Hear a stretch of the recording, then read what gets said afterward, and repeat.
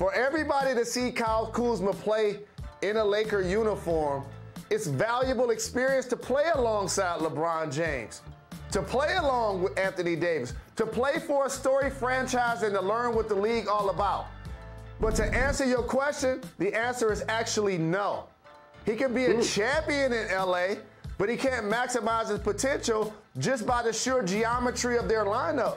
LeBron James and Anthony Davis are going to play the lion's share of the minutes up front, and you can't have all three of those guys really on the floor. So therefore, he's not going to be able to score the kind of buckets that he has the potential of scoring.